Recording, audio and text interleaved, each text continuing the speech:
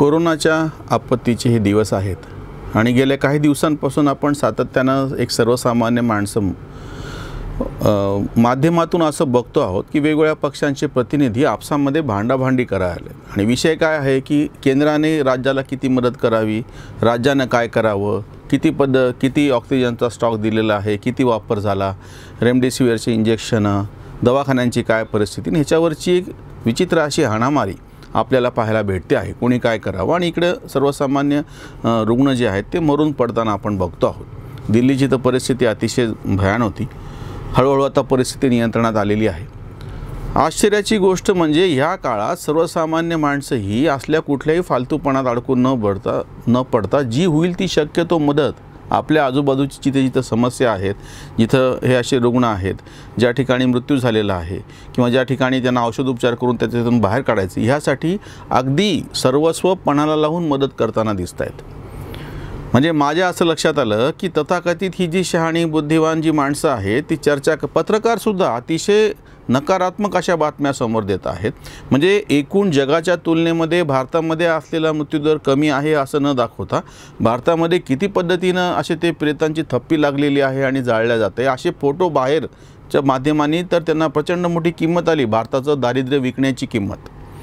या सगळ्या वातावरणामध्ये जेव्हा सर्वसामान्य लोक काही एक काम करताना मी बघतोय आणि त्याहीपेक्षा सगळ्यात त्याच्यातली महत्त्वाची गोष्ट जी मला अधोरेखित करायची आहे की त्यांची काहीच इच्छा नाही आहे कुठे त्याचं नाव व्हावं प्रसिद्धी व्हावी कोणी त्याच्या त्याला काही हे करावं. उलट ती काही जणं तर असं म्हणतात की आमचं नाव पण नको.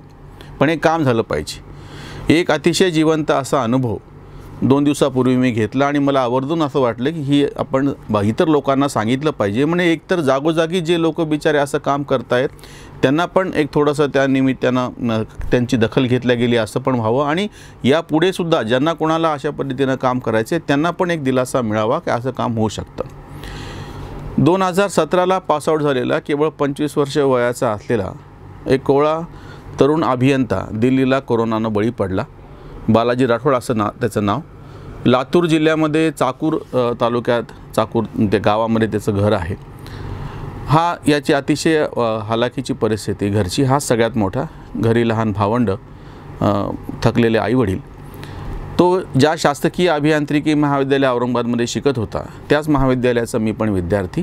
आणि एकोणीसशे त्रेसष्टपासून म्हणजे पहिल्या बॅचपासून बाहेर पडलेले जे विद्यार्थी त्यांनी एक सगळ्यांनी मिळून माझी विद्यार्थ्यांची संघटना alumni association government college of engineering Aurangabad एजिका नावाची स्थापन केलेली आहे. आणि त्याच्या वतीनं विद्यार्थ्यांना वेगवेगळ्या अडचणींसाठी मदत करण्याचं काम चालतं. शिष्यवृत्ती देणे गरजू विद्यार्थ्यांना किंवा त्यांचे जे प्रोजेक्ट असतात त्यांच्यासाठी मार्गदर्शन करणे प्रायोजकत्व मिळवून देणे असंख्य गोष्टी.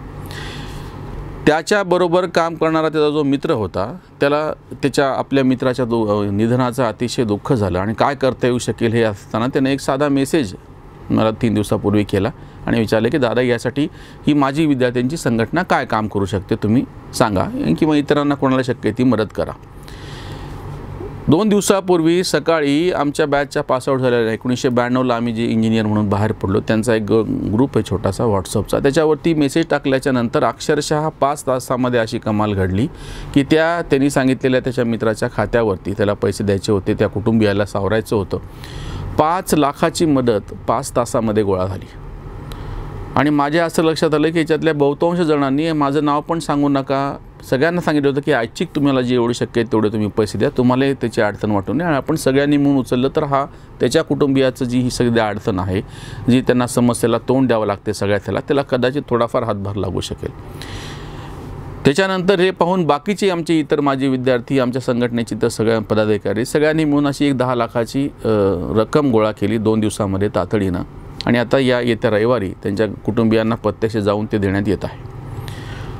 ह्या सगळ्या प्रकरणात माझ्या असं लक्षात आलं की फक्त एखादी समस्या कळली अडचण आहे खरी तिची किती आहे काय आहे आणि ते सांगणारा माणूस त्याच्यावरती विश्वास जर इतरांचा असेल आणि त्यानं त्या पद्धतीनं इतरांपर्यंत तो, त्या समस्येची समजा माहिती दिली तर ताबडतोब लोक मदत करायला याही काळामध्ये लोक तयार आहेत जेव्हा की स्वतःला त्यांना अडचण असतानासुद्धा एका आमच्या मित्राच्या बाबतीत तर वाईट घटना अशी घडली की त्याच्या आईचा कोरोनामुळे मृत्यू झालेला आणि त्याला दहावा आणि विधी करण्यासाठी पैठणला जायचं होतं. ऑनलाईनचा प्रॉब्लेम आला. तर तो बिचारा त्याही दुःखामध्ये प्रत्यक्ष माझ्याकडे भेटून माझ्या हातामध्ये त्यानं पैसे दिले आणि सांगितलं की बुवा मला सध्या तरी ऑनलाईन पाठवणं शक्य नव्हतं म्हणून तुला देतो आहे.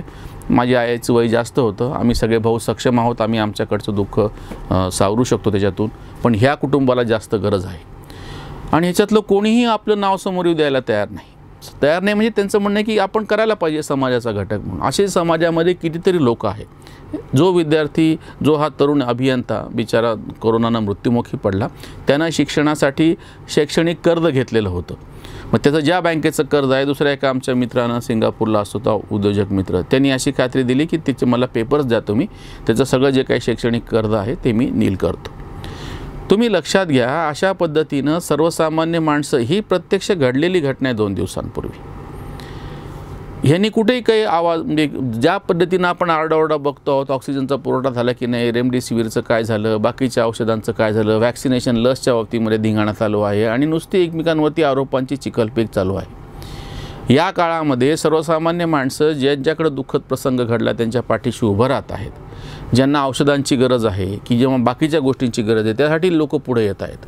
वेगवेगळे सम छोट्या मोठ्या संस्था छोट्या मोठ्या व्यक्ती वेगवेगळ्या ठिकाणी काम करत आहेत आणि याच्या नेमकं उलटं ज्यांना आपण समाज धुरीण म्हणतो आपल्याकडं धोऱ्यावर बसून जो धुरा सांभाळ म्हणजे ती सगळा गाडा रेटून येतो त्याला धुरीण म्हणायची पद्धत आहे. आणि ते मात्र आपसामध्ये भांडण्यामध्ये व्यग्र आहेत. आपसामधल्या आरोपा आरोपबाजी करत आहेत. अतिशय विदारक असं हे चित्र आहे. त्याच्या नेमकं उलटं आशादायक असं चित्र आहे की सर्वसामान्य लोक या पद्धतीनं मदत करत आहेत यापूर्वी पण आम्ही बघितलं जेव्हा आत्महत्या केलेल्या शेतकऱ्यांच्या मुलांसाठी एक उपक्रम आम्ही चालवत होतो कितीतरी लोकांनी आपणून मदत केली. त्या आत्महत्या केलेल्या शेतकऱ्यांच्या कुटुंबातल्या इतर व्यक्तींना जे तरुण मुलं आहेत त्यांना कुठल्या स्वतःच्या पायावर कसं उभं करता येईल? त्यांच्या विधवा आहेत. एक तर प्रसंग असा होता की त्याला मुलबाळ नव्हतं आणि त्याची मध्यमवयीन अशी बायको फक्त शिल्लक होती. तिनं काय करायचं? कुठलं उद्योगधंदा काय करायचं? तर तिला श- ती म्हणे मी शेळ्या चारू शकते गावामध्ये हे करून. तर तिला शेळ्या घेऊन दिल्या प्रत्यक्ष. लोकांनी अशा पद्धतीनं मदत किंवा काही जणांचे मुलं कुठं शिकायला तयार होते तर त्यांच्या शिक्षणाची शुल्क भरणे त्यांची राहायची सोय करणे त्यांच्या मेसची सोय करणे अशी कामं आजही लोक करत आहेत सर्वसामान्य पातळीवरती लोक करत आहेत आणि ह्याचे नेमकं उलट आपण ज्यांना तथाकथित धोरीण म्हणतो असे भांडणामध्ये व्यग्र आहेत. अजून एक मला आवर्जून या निमित्तानं तुम्हाला गोष्ट सांगायची आहे की तुमच्या पण आजूबाजूला असे ज्या ज्या कोणी तुम्हाला समस्या आढळतील त्याच्यासाठी तुम्हाला काय करता येऊ शकेल मदत आपण त्याचा जरूर विचार केला पाहिजे. एकोणीसशे साधारणतः साठ सत्तरच्या नंतर आपल्याकडे एन जी ओचं पण एक पेव फुटलं. आणि एन जी ओ म्हणजे खरं तर सरकारी पातळीवरती ज्या गोष्टी होत नाही त्याला पर्याय म्हणून आपण एन जी ओ स्थापन केले होते. एन जी ओचंही कल्चर असं विचित्र होऊन बसलं की प्रत्यक्ष काम करण्याच्यापेक्षा ते काम केलेलं कसं त्याचे फोटो कसे त्याच्या बातम्या कशा आल्या आणि त्याची भंभम कशी झाली? म्हणजे काहीतरी मोठ्या सामाजिक संस्था अशा आहेत त्यांची नावं मला घ्यायची नाही आहेत विनाकारण त्यांच्याबद्दल कटुता निर्माण करायची नाही. पण त्या फक्त फोटोपुरत्या आणि पत्रकारत्यापुरतं त्यांची समाजसेवा आहे. म्हणजे कुठंतरी त्याची बातमी आली. म्हणजे ते तर असं गमतीनं त्यांच्यावरती चिडवलं जातं की हे एक बॅनर घेऊन फिरतच असतात. फोटोग्राफर आणि बॅनर घेऊन. कुठेही सामाजिक कार्यामध्ये जाऊन आपलं ते बॅनर लावायचं फोटो काढायचा आणि मग ते फाईल तयार करायच्या. आणि मग त्याला मिळणारे पैसे त्यांना मिळणारं देणग्या परदेशातल्या देणग्या सरकारी पातळीवरती मिळणारं अनुदान या सगळ्याचा फायदा घ्यायचा आणि प्रत्यक्षामध्ये समस्या मात्र हजारो शेकडो सार्वजनिक संस्था आहेत N G O non government organisation आणि काम म्हणजे आता त्यांचंच ऑडिट करून त्यांच्यावरतीच म्हणजे एक असं शंका आलेली आहे की व ह्यांचं काम चालतं काय? एक असं अजित नेनन ह्या व्यंगचित्रकाराचं एक अतिशय अफलातून सुंदर असं व्यंगचित्र होतं की एका झोपडीपाशी परदेशी वाटणारे असे हॅट वगैरे घातलेले असे दोघं म्हणजे परदेशी संस्थांची मदत किंवा ज्यांना जास्त फंडिंग मिळतं अशी एन जी ओचे प्रतिनिधी एक दोघं नवरा बायको जोडपं उभं आहे. आणि तो दरिद्री पोरगा एक बाप झोपडीपाशी उभा असलेला तो छोटा पोरगा आपल्या वडिलाला विचारतो की हे काय करतात? तर बाप उत्तर देतो की ते गरिबी दूर करण्यासाठी काम करतात. मग हा त्याला होतो तो त्यानं काय होतं? ते त्यांना दिलेलं उत्तर अतिशय मार्मिक आहे. त्यानं त्यांची दरी त्यांची गरिबी दूर होते. म्हणजे जिथं समस्या आहे ती समस्या राहिली बाजूला एन जी ओ कल्चर असं डेव्हलप झालं की त्याच्यामधून या संस्था हायफाय झाल्या आणि प्रत्यक्ष त्यांचा लोकापासून कनेक्ट तुटला. म्हणून मला तुम्हाला विनंती करायची आहे की ह्या पण सापळ्यामध्ये अडकू नका. सरकारी पातळीवर जे काम चालते त्याचा अपुरेपण आपल्याला माहिती आहे. हे जे तथाकथित राजकीय नेते आहेत ते कसे अनैतिक आहेत भ्रष्ट आहेत ते काय ढोंग करतात ते आपल्याला माहिती आहे. आणि एन जी ओच्या नावाखाली चाललेला जो काही काय म्हणता येईल गैरकारभार आहे तो पण आपण पाहतो आहोत. ह्यांच्यावर मला टीका नाही करायची. यांना ह्यांचं काय काम करायचं ते करू द्या सगळ्यांचीच गरज असते. पण ह्याच्याशिवाय सर्वसामान्य लोक म्हणून माझी तुम्हाला विनंती आहे की तुम्हाला ज्या पद्धतीनं शक्य आहे त्या पद्धतीनं तुम्ही अशी मदत करा. याच्यावरती जी एक उसंत वाणी आहे ती मी तुमच्यासमोर ठेवतो आणि आमचा याचा शेवट करूयात. तुम्हाला विनंती की तुम्हाला ज्या ज्या ठिकाणी अशी म काम करण्याची गरज आढळेल लोकांना मदत करायची गरज आढळेल त्या ठिकाणी जरूर करा. औरंगाबाद शहर आणि त्या परिसरामध्ये आम्ही काम करतो आहोत. आमच्याशी संपर्क करा. आम्ही जरूर जिथं गरज आहे ते ओळखून त्या प्रसंगानुसार आवाहन करू आणि आपण त्यांना मदत पोहोचवायचं काम करू. साध्या माणसांचा हातामध्ये हात साध्या माणसांचा हातामध्ये हात करोनाला मात देण्यासाठी. जरा ना प्रसिद्धी नाही कुठे नाव जरा ना प्रसिद्धी नाही कुठे नाव वेदनेचा ठाव थेट घेती. चांगल्या कामाची ना कुठे बातमी चांगल्या कामाची ना कुठे बातमी न बात नाही मी यांच्यापाशी. कुठलाही अहंकार या लोकांपाशी नाही सर्वसामान्यपणे बिचारी मदत करतायत.